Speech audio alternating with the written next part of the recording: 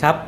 พี่น้องกำลังรับชมรายการ Living Life กับผมอาจารย์วิทยาวุฒิไกรเกลียงนะครับ วันนี้เราจะมีโอกาสได้ศึกษาพระคัมภีร์จากพระธรรมมาระโกบทที่ 9 ข้อ 1 ถึงข้อ 13 ครับ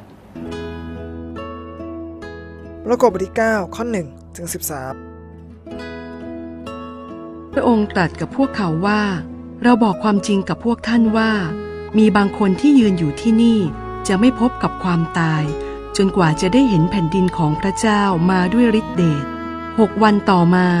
พระเยซูทรงพาเปโตร ยากอบ และยอนขึ้นภูเขาสูงตามลำพัง แล้วพระกายของพระองค์ก็เปลี่ยนไปต่อหน้าพวกเขา และฉลองพระองค์ก็ขาวเป็นมันระยับ จนไม่มีช่างฟอกผ้าคนใดในโลก จะฟอกให้ขาวอย่างนั้นได้ แล้วเอลียากับโมเสสก็ปรากฏแก่สาวกเหล่านั้นกำลังสนทนากับพระเยซู เปโตรทูลพระเยซูว่า พระอาจารย์ ดีจริงๆ ที่เราได้มาอยู่ที่นี่ ให้เราทำเพิงขึ้นสามหลังสำหรับพระองค์หลังหนึ่งสำหรับโมเสสหลังหนึ่ง และสำหรับเอลียาหลังหนึ่ง เปโตรไม่รู้ว่าจะพูดอะไร เพราะพวกเขากำลังตกใจกลัว แล้วก็มีเมฆมาปกคลุมพวกเขาไว้ และมีพระสุรเสียงดังออกมาจากเมฆนั้นว่า ท่านผู้นี้เป็นบุตรที่รักของเรา จงเชื่อฟังท่านเถิดทันใดนั้น เมื่อพวกสาวกมองดูรอบๆ ก็ไม่เห็นใคร เห็นแต่พระเยซูทรงอยู่กับพวกเขา เมื่อลงมาจากภูเขา พระองค์ตรัสสั่งพวกสาวกไม่ให้นำสิ่งที่เห็นนั้นไปบอกกับคนอื่น จนกว่าบุตรมนุษย์จะเป็นขึ้นจากตาย ดังนั้นพวกสาวกจึงเก็บงำเรื่องนี้ไว้ แต่ก็ถามกันว่า การเป็นขึ้นมาจากตายมีความหมายอย่างไร พวกเขาจึงทูลถามพระองค์ว่า ทำไมพวกธรรมาจารย์ถึงกล่าวว่า เอลียาจะต้องมาก่อน พระองค์ตรัสตอบพวกเขาว่า เอลียาจะต้องมาก่อนแน่นอน เพื่อทำให้ทุกสิ่งทุกอย่างกลับคืนสู่สภาพเดิม แต่ทำไมยังมีถ้อยคำเขียนเกี่ยวกับบุตรมนุษย์ว่า พระองค์จะต้องทรงทนทุกขเวทนาหลายประการ และทรงถูกทอดทิ้ง แต่เราบอกพวกท่านว่า เอลียานั้นได้มาแล้ว และพวกเขาทำต่อท่านทุกอย่างตามใจชอบ ซึ่งก็เป็นไปตามถ้อยคำที่เขียนไว้เกี่ยวกับท่าน พี่น้องที่รักครับเเคยดูหนังจีนกันบ้างไหมครับ หนังจีนเนี่ยมี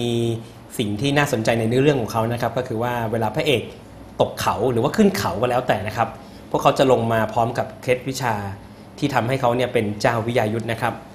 พี่น้องครับในพระคัมภีร์ตอนนี้เนี่ยก็ได้พูดถึงภูเขาสูงเอาไว้น่าสนใจนะครับ ในพระคัมภีร์ข้อ 2 บอกว่า 6 วันต่อมาพระองค์เนี่ยก็พาเปโตรยอนแล้วก็ยากอบเนี่ยขึ้นภูเขาสูงตามลำพัง แล้วพระองค์ก็จำแรงพระกายที่เปลี่ยนแปลงไปนะครับ มีฉลองพระองค์ที่เป็นขาวมันระยับเลย ขาวจนกระนาขนาดที่ว่าไม่มีช่างฟอกผ้าคนใดเนี่ยนะครับจะทำให้ขาวเหมือนได้เลยนะครับ แล้วก็ปรากฏชายสองคนอยู่ข้างๆองค์พระเยซูคริสต์ก็คือเอลียาแล้วก็โมเสสนะครับ แล้วก็ทั้ง 3 ก็มีการสนทนาร่วมกัน สิ่งที่สาวก เห็นเนี่ยผมว่าคงเป็นสิ่งที่น่าตกใจกลัวมากๆเลยนะครับ ไม่ว่าจะเกิดขึ้นกับเราหรือเปล่าก็ตามนะครับ สิ่งที่สำคัญนะครับเปโตรเองก็มีการตอบสนองที่น่าสนใจจากความตกใจกลัวของเขานะก็คือว่าเขาพยายามจะพูดอะไรบางอย่างออกมาว่าเขาจะสร้างเพิงสำหรับพระเยซูคริสต์หลังหนึ่งโมเสสหลังหนึ่งแล้วก็เอลียาหลังหนึ่งแต่พี่น้องที่รักครับ เปโตรก็ได้พบความจริงว่าจริง ๆ แล้วสิ่งที่พระเยซูคริสต์ปรารถนาหรือว่า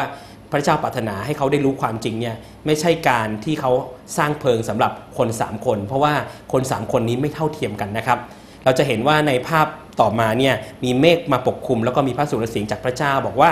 ท่านผู้นี้เป็นบุตรที่รักของเราจงเชื่อฟังท่านเถิด แล้วหลังจากนั้นเอลียาก็หายไป โมเสสก็หายไป เหลือแต่องค์พระเยซูคริสต์เท่านั้นน้องครับ ความเกี่ยวพันของคน 3 คนนี้โมเสสเองนะครับมีความเกี่ยวพันกับภูเขาด้วยเหมือนกันนะครับที่ภูเขาซีนายนะครับโมเสสได้ขึ้นไปได้ได้รับบทบัญญัติที่เรารู้จักกันในนามบทบัญญัติของโมเสสนะครับบัญญัติ 10 ประการ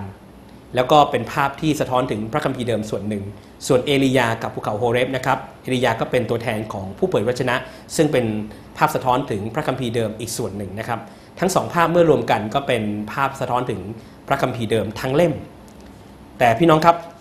พระเยซูคริสต์เป็นพระบุตรของพระเจ้า พระองค์ทรงเป็นพระเจ้า เพียงองค์เดียวท่ามกลางทั้งสามโมเสสเป็นมนุษย์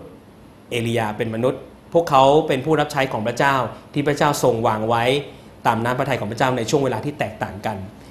สิ่งสำคัญก็คือว่าพระเยซูคริสต์จะให้ความชัดเจน จะให้ความเข้าใจใหม่ และทำให้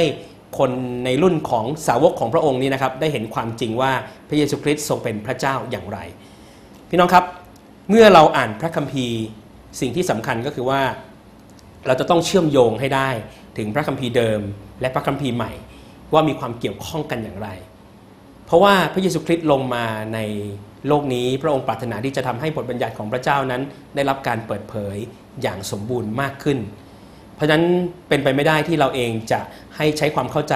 จากพระคัมภีร์เดิม และพระคัมภีร์ใหม่เนี่ยแยกเป็นส่วนๆโดยไม่ไม่มีความเกี่ยวข้องกันนะครับ พี่น้องครับเมื่อลงจากภูเขาแล้ว พระองค์ก็ตัดสั่งพวกสาวกไม่ให้นำสิ่งเหล่านั้นเนี่ยไปบอกกับคนอื่น โดยบอกว่าบอกได้นะ แต่ต้องรอพระองค์เนี่ย